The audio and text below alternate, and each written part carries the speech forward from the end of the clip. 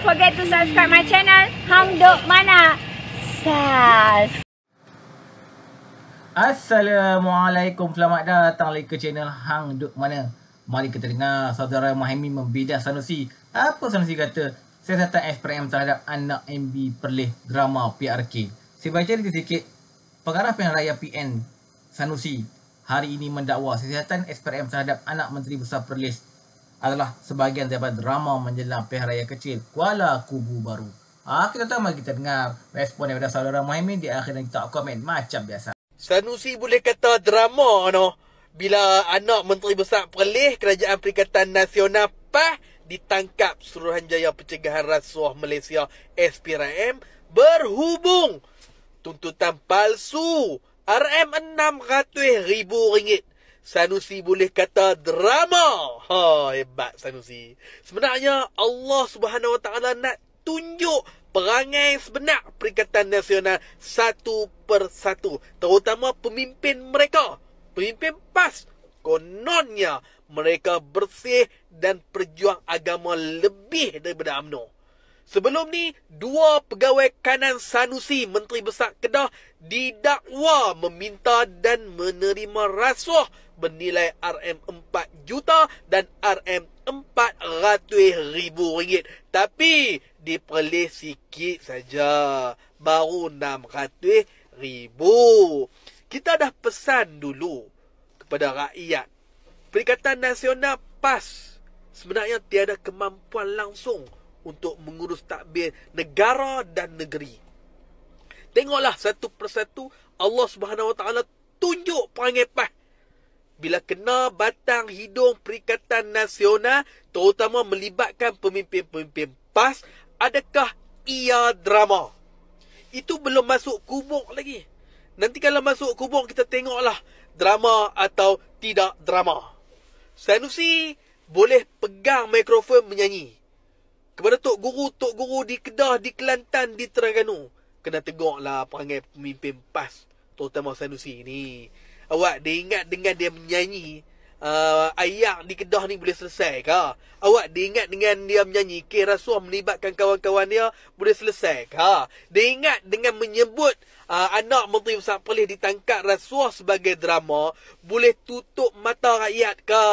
Sorry lah Sanusi ramai yang uh, saya berjumpa terkejut dengan perangai dan sikap PAH. Mereka dok anggap uh, PAH ni bersih Perikatan Nasional dengan uh, slogan uh, prihatin, uh, stabil dan apa nama dia uh, bersih. Tapi sebaliknya, adakah uh, slogan itu perlu ditukar? Adakah perlu ditukar kepada penyakau?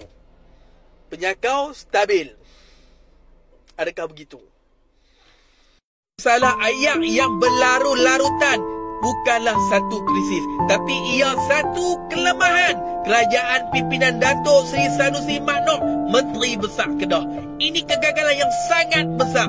Semakin lama semakin lemah kerajaan pimpinan uh, Sanusi Maknok Menteri Besar Kedah.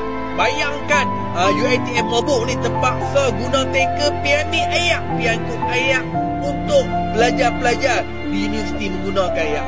Bayangkan awak yang sampai menderita, terpaksa menderita teruk sebegini.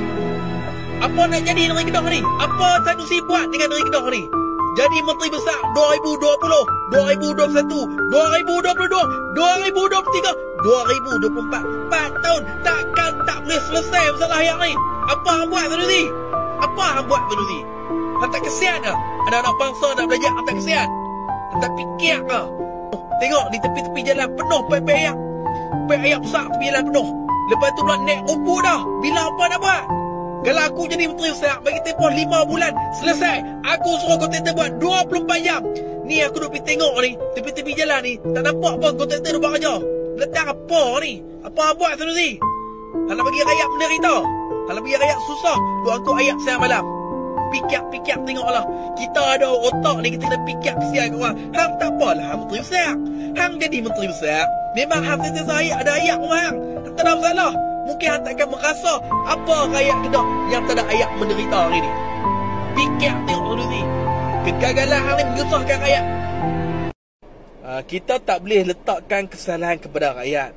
Tetapi Sanusi sebagai uh, Menteri Besar Kedah, ketua dalam kerajaan negeri Kedah ni, dia kena bertanggungjawab. Dia kena pastikan suasana negeri Kedah ni bersih. Bukan itu saja, dia kena pastikan uh, di negeri Kedah ni ada peluang pekerjaan untuk rakyat.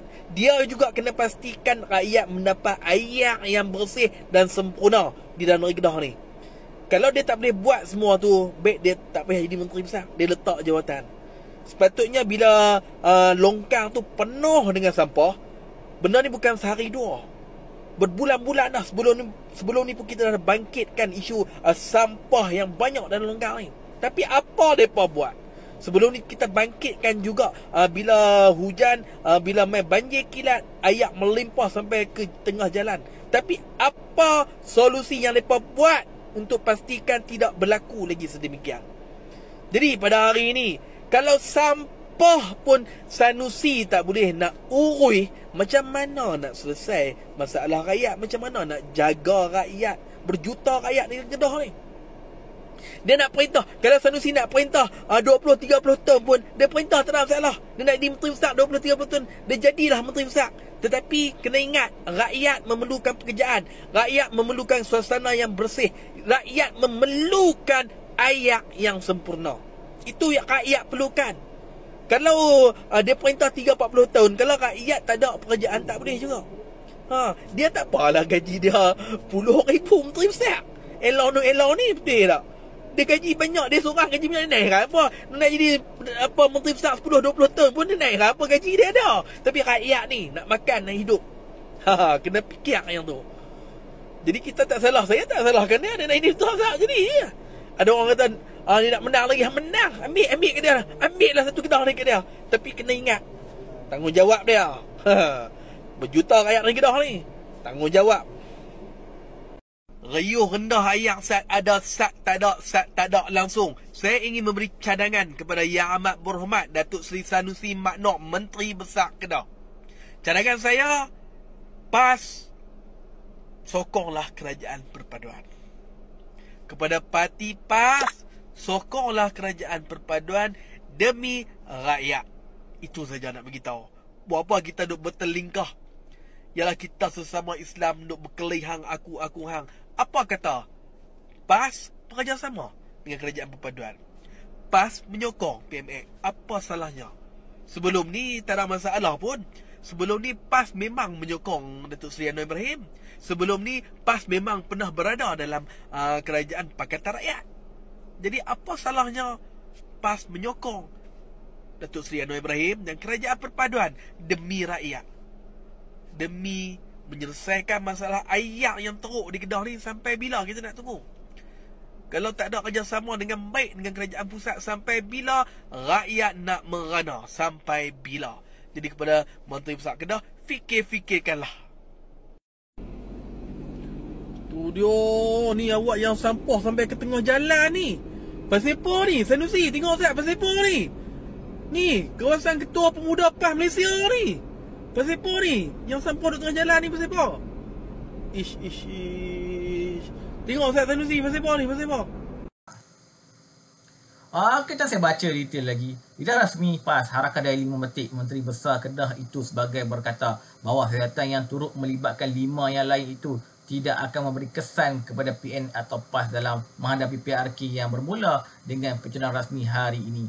Itu memang drama yang diset untuk PRK. Semua orang tahu bukan rahsia besar. Semua adegan itu adalah setting untuk menghadapi PRK. Kita gelak je dia akan buatlah beberapa drama itu. Kata Sanusi yang dipetik sebagai berkata semasa majlis rumah terbuka PAS Langor di Kanga Perlis awal hari ini. Ah, kita tuan-tuan, mari terus menyokong kajian Ampur pada anda PMN Ibrahim. Assalamualaikum.